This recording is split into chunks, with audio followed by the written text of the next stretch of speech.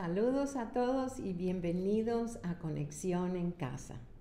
Hoy vamos a continuar con nuestra serie Héroes de la Fe. La semana pasada hablamos de qué es la fe, cómo funciona la fe, quién es un héroe de fe y cómo nosotros podemos ser héroes de fe. En la Biblia hay muchos héroes, unos muy famosos y reconocidos, otros menos, otros anónimos y hemos encontrado que hasta tenemos héroes de la fe en personas que hemos conocido personalmente. Los héroes en nuestras vidas son personas que admiramos por su carácter y sus logros. Y en la Biblia hay muchos y entonces es un poco difícil escoger algunos para compartir con ustedes. Pero tengo en mi corazón que hablemos de la historia del héroe de la fe llamado Noé, porque creo que su historia nos dará entendimiento a nuestras vidas personalmente y nos instruirá cómo podemos ser héroes de la fe en estos días en que vivimos en nuestro mundo y en nuestra sociedad. Vamos a orar. Digan conmigo, Padre Celestial, te pedimos que nos hables por medio de tu palabra, por medio de tu Espíritu Santo. Señor, déjanos oír lo que tu Espíritu está diciendo a la iglesia hoy en día. Usa este ejemplo de Noé, Señor, para instruirnos, para prepararnos y para enseñarnos a aplicar tu palabra a nuestras vidas personalmente. Señor, todo esto lo pedimos en el nombre de Jesús. Amén. Amén. Vamos a hablar de Noé, nuestro héroe de la fe. En Hebreos 11, versículo 7, la palabra de Dios dice así, por la fe Noé, advertido sobre las cosas que aún no se veían, con temor reverente construyó un arca para salvar a su familia. Por esa fe condenó al mundo y llegó a ser heredero de la justicia que viene por la fe. Wow. Un solo versículo encontramos aquí en esta lista de héroes, pero podemos encontrar su historia y más cosas en otras partes de la Biblia. La historia de Noé principalmente la encontramos en Génesis capítulo 6. Y ahí habla de los tiempos de Noé y los describe así en el versículo 5. Dice, al ver el Señor que la maldad del ser humano en la tierra era muy grande y todos sus pensamientos tendían siempre hacia el mal, se arrepintió de haber hecho al hombre en la tierra y le dolió el corazón. Wow, cuando yo leí esto, realmente pensé, a Dios realmente le duele ver la condición en que estaba el mundo en estos tiempos de Noé. Porque dice que, que la maldad del ser humano era tan grande y que todas sus intenciones, todos sus pensamientos eran hacia el mal. No fue eso el plan de Dios, no era eso lo que Dios había pensado y soñado para la humanidad. Y eso le duele a Dios cuando nos ve así. El mundo en ruinas, la belleza destrozada, llena de violencia, insolencia de la humanidad, la crueldad, eh, toda la codicia, toda la avaricia, todo el pecado, la inmundicia y la corrupción que había en la sociedad en esos días. Eso le dolía a Dios. Pero el versículo 8 dice, Noé contaba con el favor de Dios. Noé encontró gracia y favor delante de Dios. Él era alguien excepcional, era un hombre diferente a los demás. Dice el versículo 9, Noé era un hombre justo, recto, honrado entre la gente porque era íntegro. Significa que era un hombre intachable, de buena reputación, que la gente reconocía que era moralmente un hombre virtuoso, diferente a todo lo que estaba pasando a su alrededor. Y es porque, dice la Biblia, en el siguiente versículo dice, anduvo fielmente con Dios.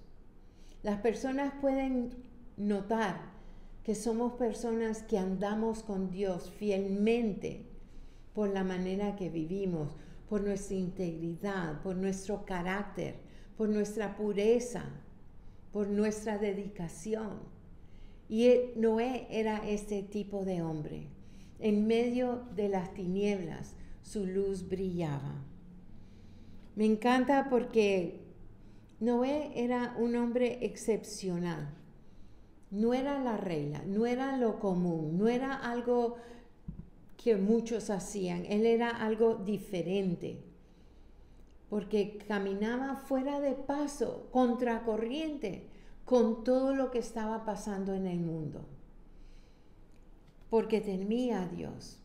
La Biblia dice en Romanos que no nos debemos de conformar al molde de este mundo, más bien ser transformados nosotros no debemos como creyentes ser igual que el molde del mundo. Si creemos en Dios y andamos fielmente con Dios, no vamos a andar en la corriente del mundo. Personas que andan fielmente con Dios son personas que no quieren complacer al mundo y agradar al mundo, quieren agradar a Dios en su, en su dedicación, en sus decisiones, en la manera que vive, en su estilo de vida. No son personas de fe de vez en cuando, no son domingueros, son personas que andan fielmente con Dios. Y porque andan fielmente con Dios, están fuera de, de la corriente de lo que lleva el mundo. Cuando me imagino que Noé estaba en esa sociedad tan corrupta, tan inmoral, con tanta tiniebla, con, con toda la maldad que nos podemos imaginar en una cultura, en una generación. Él vivía bajo presión. Por eso es que en Romanos dice que no te amoldes, que, el moldear es como formarte bajo presión. Y sí, el mundo está causando presión sobre nosotros, presión para que nos conformemos, para que nos amoldemos, para que cedamos, pero para que seamos igual. Y es una presión para alguien que va a andar con Dios y vivir en el camino recto y justo como lo hizo Noé que vas a vivir con mucha presión del mundo. El sistema de educación, la economía, la universidad, la teología, el humanitarismo, eh, todos los compañeros en el trabajo, los amigos en el instituto, la familia incrédula, todos van en contra de lo que Dios manda, de lo que le agrada a Dios porque no están andando con Dios, porque no conocen a Dios. Entonces, en este mundo en que nosotros vivimos hoy en día también, vivimos en un mundo ateo. La gente no cree en Dios, no busca a Dios, no honra a Dios. Es un espíritu de anticristo incluso. Es un mundo donde Dios a Dios le duele ver el mundo. Yo creo que si Dios puede ver lo que está pasando en el mundo hoy en día, a Él le duele el mundo. Un mundo en dolor, un mundo corrompido, un mundo que, que no lo busca, que no hace el bien, que está continuamente haciendo lo malo delante de Dios. Es fácil ser un creyente en la iglesia o cuando está rodeado de otros creyentes, pero realmente en el mundo donde todos vivimos es difícil. Ahí en el hogar, en tu familia, cuando tienes personas que, que no creen en Dios, que te ofenden por la manera que hablan de Dios. Cuando vas al trabajo y el sistema, la falta de integridad, donde quieren comprometerte a ti para que tú dobles la rodilla en el instituto, con los amigos, con la música, con el mensaje, con la media social que te bombardea. En ese mundo vivimos y hay presión, ciertamente. Cuanto más comprometido estamos con Dios, más difícil y más fuerte va a ser la presión. A veces, ser un creyente verdadero y andar con Dios significa la soledad. Mira, Noé era el único, el único. A veces nosotros cuando tomamos nuestra postura de rectitud, de justicia, de integridad, de pureza, quizá vamos a ser los únicos. Y como en los tiempos de Noé, se burlaban de él. Lo abandonaron. Nadie quería ser su amigo. No era tan divertido como los demás. Y a veces estar con Dios significa apartarte de otras personas, de influencias, de amistades, incluso en nuestra propia familia. Vamos a sufrir persecución o, acoso o, o rechazo porque creemos en Dios y porque hacemos las cosas como le agradan a Dios. La comunión, ese andar fielmente con Dios, produjo una fe firme en Noé. Es como vivir una manera diferente. Tenemos una manera de vivir, de ver las cosas. Hablamos de otras maneras, compartimos nuestra vida con las personas. Es, cambiamos, somos transformados, somos diferentes, no encajamos. Y eso es mantener tu fe firme, no doblar la rodilla, no amoldarte, no conformarte, no ir con la corriente. Eso es una persona de fe extraordinaria. Necesitas una fe firme. Y es muy interesante para mí hablar de esto en, en lo que yo veo que está pasando en el mundo y en la sociedad cómo está la moralidad, cuánta corrupción hay en el mundo, cuánta violencia. El mundo está mal. ¿Lo ves tú? Yo sí. En Génesis 6, 11 dice, Dios vio que la tierra estaba corrompida y llena de violencia. Al ver Dios tanta corrupción en la tierra y tanta perversión en la gente, de todo tipo de maldad y inmoralidad, totalmente corrompida. Así es como vio Dios el mundo. Y dice en Hebreos 7, dice, Dios advirtió a Noé. Porque Noé andaba con Dios y Dios comparte su corazón con los que andan con Él. Nosotros podemos sentir el amor de Dios, podemos sentir el dolor de Dios, podemos sentir la ofensa que es estamos viviendo en un mundo. Pero eh, Noé podía oír la voz de Dios porque andaba en una relación íntima, cercana con Dios. No estaba lejos de Dios. Cuando tú estás cerca de Dios, cuando tú andas con Dios diariamente, puedes escuchar su voz. Y Dios te puede advertir y Dios puede compartir contigo los secretos de su corazón. Cuando andamos cerca con Dios, podemos ver las cosas como Dios las ve podemos tener ojos de fe. Dice en, en hebreo dice que veí cosas que aún no se veían. Las personas en lo natural no ven las cosas como las vemos nosotros cuando andamos con Dios, cuando tenemos una relación íntima y cercana con Dios. Vemos las cosas con los ojos de fe, vemos las cosas diferente. Cuando tenemos esa fe, produce un cambio en nuestras vidas, un cambio de conducta y actuamos en fe. Dice, con temor y reverencia, por respeto y por honrar a Dios, construyó un arca. Cuando Dios advirtió a Noé, Él le dio instrucciones.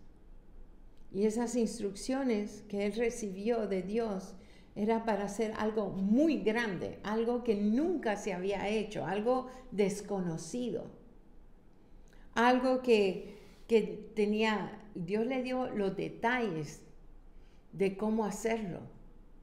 Cuando queremos agradar a Dios, tenemos que hacer las cosas como Dios manda, sin saber los resultados, sin saber cómo funciona eso, es por fe que obedecemos a Dios. Y cuando tenemos fe, podemos obedecer a Dios aun cuando no vemos las cosas, porque la fe es la certeza, la garantía, la, la certeza de, de lo que esperamos sin poder verlo.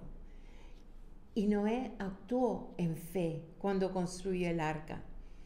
Trabajó 120 años, dice la palabra de Dios, sin ninguna señal visible. ¡Wow! Yo digo, sabes que a veces decimos, ay, yo estaba esperando en, Dios que haga algo en mi vida o en la vida de alguien o en este mundo he estado trabajando para Dios tres años. ¿Y qué es eso? O diez años, o quince años, o cincuenta años. Noé, 120 años, fielmente obedeciendo a Dios sin ver nada de resultados. Eso es una fe increíble. La fe trae una obediencia total, no parcial. Cuando obedeces a Dios, lo haces completamente y como Él manda. Eso es honrar a Dios, eso es agradar a Dios. Eso es lo que las personas que creen en Dios hacen. Sí, no quiere decir que no hubieron días de cansancio, quizás desánimo, tiempo que empiezas a dudar que si oí de Dios, si esto va a funcionar, ¿Para qué estoy haciendo eso? Miles de dudas, miles de preguntas. Solo porque tiene fe no quiere decir que no van a entrar esos pensamientos. Lo que pasa es que la fe lo mantuvo firme en lo que Dios le había prometido, lo que Dios le había instruido a hacer. Noé dedicó su vida para la salvación de su familia. Ese arca iba a traer salvación a su familia. Primero de Pedro 3:20 dice, Dios esperaba con paciencia mientras se construía el arca y solo ocho personas se salvaron en total. Dios estaba esperando que Noé cumpliera y terminara el arca. Y al final solo su familia entró en el arca como humanos y todos los demás se perdieron. Pero Noé, cuando actuó en fe, obedeció a Dios y trabajó fielmente y se mantuvo, al final obtuvo la salvación de su familia. Y eso es lo que hacen las personas justas, las personas que creemos en Dios sabemos que si mantenemos la fe, si seguimos andando con Dios, vamos a obtener la promesa de Dios. No importa cuánto tiempo tarda, no importa lo que hacen las otras personas, no tiramos la toalla, nos mantenemos firmes hasta lograr lo que Dios nos ha prometido, lo que Él nos ha enseñado por fe. Eso es increíble. Noé lideró en su familia y en su generación. Porque aunque nadie más entró al, al arca, ellos tuvieron la oportunidad. Ellos decidieron no hacerlo. Pero en su ejemplo y en la provisión de su trabajo, Él dio oportunidad de salvar a toda la humanidad, a toda su generación. Dice que un líder es una persona que, que sabe a dónde va, que tiene visión, que va por delante, que enseña el camino a otros. Y esto es una persona de fe. Cuando tú tienes, has oído de Dios, cuando tú has visto las cosas como Dios te las enseña y Dios te advierte y te instruye y te da un llamado, te da un propósito. Y tú andas en ese camino, tú abres el camino para otros, no solo para tu familia, para los demás. Ahora, en Pedro, segundo de Pedro 3.9, dice la palabra, el Señor no tarda en cumplir su promesa, según algunos entienden tardanza. Más bien, Él tiene paciencia con ustedes, porque no quiere que nadie se pierda, sino que todos se arrepientan. Pero el día del Señor vendrá como un ladrón en la noche. Aquí Pedro está hablando del tiempo que, Dios está dando a la humanidad para que se arrepientan. Porque habían personas en el tiempo que decían, Jesús va a venir, Jesús va a venir. Y ya había pasado unos años, 100 años, no sé cuántos años, y la gente empezó a decir, ajá, siempre están diciendo que Jesús va a venir y no ha venido, y cuándo va a venir y ya no viene. Pero ¿sabes qué? Dios está esperando que las personas se arrepientan, porque Él no quiere que nadie se pierda. Por eso está esperando. Pero igual la palabra dice que Él vendrá, y vendrá como un ladrón en la noche cuando menos te lo esperes. Cuando las personas están dormidas, cuando no están velando, cuando están cómodos en su cama, como en ese momento puede llegar Jesús. Así es cuando comenzó a llover y Dios cerró la puerta del arca y vino el diluvio aunque nunca habían visto lluvia, aunque no habían visto diluvio, pero vino porque Dios lo había dicho. Y Jesús vendrá. No sabemos cuándo, no sabemos cómo, pero sí va a venir porque lo ha dicho. Y debemos estar preparados. El día vendrá, hermanos y hermanas. Jesús ha dicho, yo volveré. Y lo esperamos.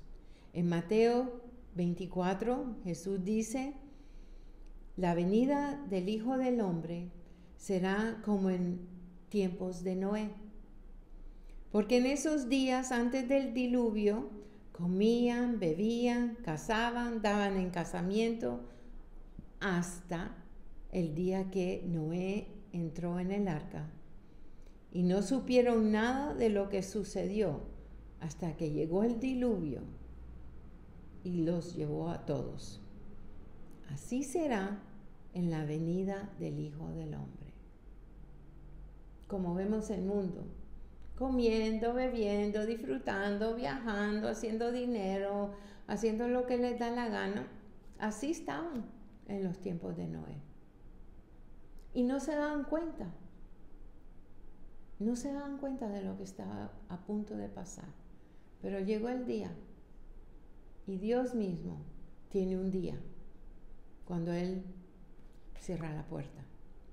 En ese día todos lo verán. En ese día todo quedará muy claro. Para algunos será muy tarde, tristemente. Hermanos, un día Dios va a cerrar la puerta. Un día Jesús va a regresar. Él sabe el tiempo, yo no, yo no te lo puedo decir. Puede ser mañana, puede ser hoy, puede ser en 120 años. No lo sé. Hemos estado esperando dos mil años. Pero los tiempos de Dios son perfectos y Él es paciente y Él espera para que el mundo se arrepienta y no se pierda. Por eso estamos esperando, por eso están esperando, dando oportunidad. Vivimos en tiempos como los de Noé. La vida, las personas se han corrompido, este mundo está mal, este mundo está enfermo, este mundo está corrompido. Como en los tiempos de Noé, la gente sigue adelante sin reconocer su necesidad por Dios. Los que vivimos por fe lo podemos ver, porque tenemos el Espíritu de Dios, tenemos la palabra de Dios y tenemos la promesa de Jesús mismo. Dios nos advierte, Él nos instruye, Él quiere que estemos preparados para su venida. Y si no es tu venida aquí en la tierra, es nuestra partida de esta tierra. Porque nadie tiene asegurado el día de mañana. Y no es por enviar temor, pero es para despertar. Es para despertar a los que están dormidos, los que se han acomodado, los que han flaqueado o debilitado en su fe. Mira, Dios nos está llamando. Dios nos está hablando a través de su palabra. Él nos ha dado promesas. Su espíritu nos habla y nos advierte y nos, hasta nos puede reprender, hasta nos puede exhortar, decir cosas que nos te incomodan pues quizás Dios te está hablando. No hay nada de malo con eso. Es tiempo de despertar. Como Noé, preparar un arca de salvación.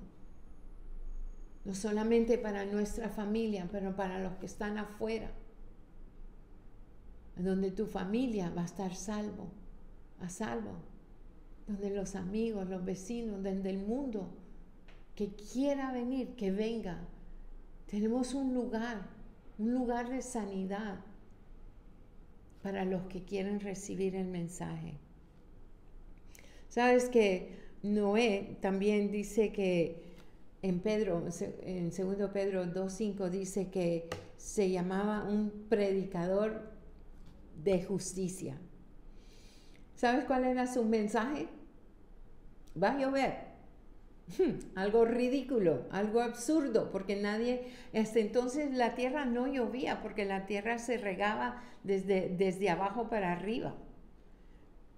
Y el, el mensaje del Evangelio es absurdo. La Biblia dice que es como locura para los que perecen, pero para los que son salvos es el poder de Dios para la salvación, para los que creen. Este mensaje del Evangelio de Jesucristo que murió, que fue sepulcrado, que resucitó al tercer día. Es el mensaje de que salva nuestras almas, es el mensaje de salvación para el mundo. Y mientras Él construía, Él predicaba. Aquí en nuestra iglesia decimos que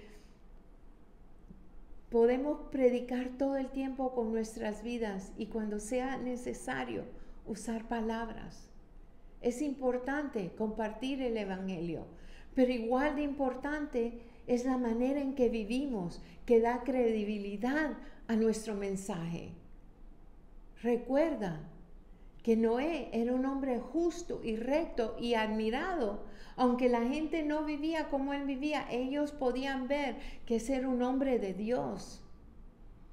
Y para darle validez y autoridad a nuestro mensaje, tenemos que ser hombres, mujeres, jóvenes, niños que andan fielmente con Dios, como lo hizo Noé. Ese es el mensaje. El mensaje se demuestra con nuestras vidas y también con nuestras palabras. Para ser un héroe de la fe hoy en día, debemos de actuar en fe y en obediencia a la palabra de Dios.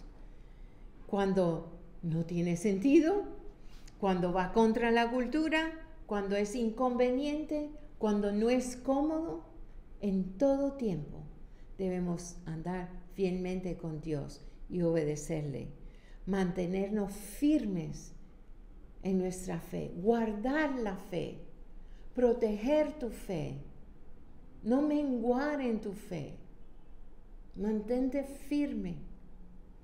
Noé creyó, obedeció a Dios y construyó un arca. Y esto significaba la diferencia entre vida y muerte para él y su familia. Así es como nosotros seremos héroes de la fe para nuestra familia y nuestra generación. Hay un versículo en Lucas 18, 8 que Jesús dijo, cuando venga el Hijo del Hombre, encontrará fe en la tierra. Yo siempre he recordado eso porque es fácil perder la fe. Es fácil desanimarte, es fácil moldearte al mundo, conformarte. Vivimos una vida por fe y hay que guardar esa fe, mantenerte firme. Te animo con lo que dice segundo Pedro 3, 17 al 18, dice, queridos hermanos, con esto quedan advertidos. Así que con, Cuídense mucho. No sea que los engaños de la tierra malvada ustedes dejen de creer firmemente en Dios. Mejor dejen que el amor y el conocimiento que nos da el Señor y Salvador Jesucristo los ayude a ser cada vez mejores cristianos. Amén. ¿Lo recibes? Vamos a orar. Señor, gracias por tu palabra. Gracias que tú nos ayudarás a ser hombres y mujeres, jóvenes de fe y ser los héroes de la fe para la salvación de nuestras vidas, nuestras familias y nuestro mundo que está en dolor. Te amamos, Señor, y creemos en ti, en el nombre de Jesús. Amén. Y ahora en tu grupo de conexión vía WhatsApp puedes responder a estas preguntas, compartir tus pensamientos y hablar de esto. Te animo que cuando veas el programa, no importa que ahora lo veas, que respondas a las preguntas, que compartes con tu grupo y así mutuamente nos podemos fortalecer en la fe y animar. Participa con nosotros y ahí te esperamos. Dios te bendiga.